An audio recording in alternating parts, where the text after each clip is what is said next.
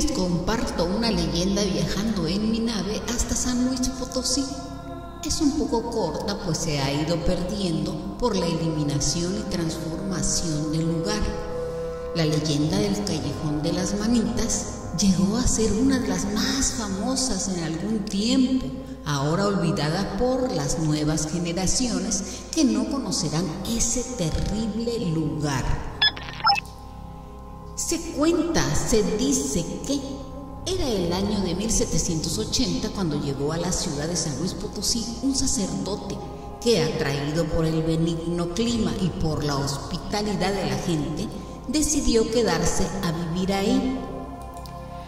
Para el clérigo resultó fácil encontrar trabajo como profesor en uno de los mejores colegios de aquel entonces. Un día después de regresar de uno de sus viajes de peregrinaje por los pueblos vecinos, fue cruelmente asesinado por los dos mozos que lo acompañaban. Al regresar a su casa el sacerdote, fatigado por la jornada, decidió irse a descansar temprano, mientras los mozos se encargaban de los caballos y las mulas.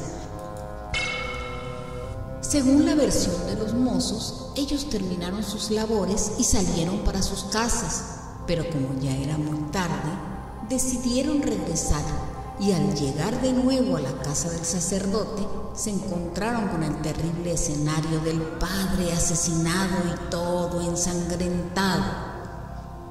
Al principio los jóvenes simplemente relataron que al llegar habían encontrado al padre ya muerto, sin que pudieran ver a los asesinos, pero la gente comenzó a sospechar. Y Luego de intensos y rudos interrogatorios por parte de las autoridades, a los dos incriminados, estos confesaron su crimen e indicaron el lugar donde habían ocultado el dinero y habían robado al sacerdote y el arma con que lo habían asesinado. Pero ellos aseguraban que no había sido el robo el móvil del crimen, sino vengarse por el maltrato que les daba el sacerdote.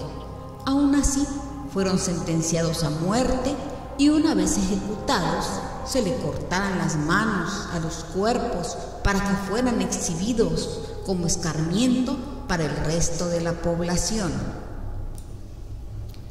Las manos de los criminales se colgaron del muro exterior de la sombría casa del callejón solitario y triste donde vivía el sacerdote asesinado. Desde entonces se les llamó el callejón de las manitas. Cuando la gente tenía que pasar por este callejón, empezaba a rezar y a santiguarse y no cesaban de hacerlo hasta que salían de él.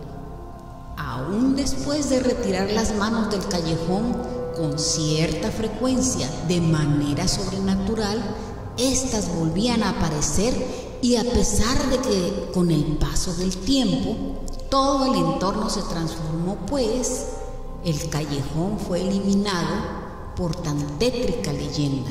Se dice que en ocasiones se pueden ver las manitos flotando en el aire y un sacerdote que desaparece pasando la calle donde quedaba el callejón de las manitas. Si van a San Luis Potosí, ¿buscarías las manitas flotadoras?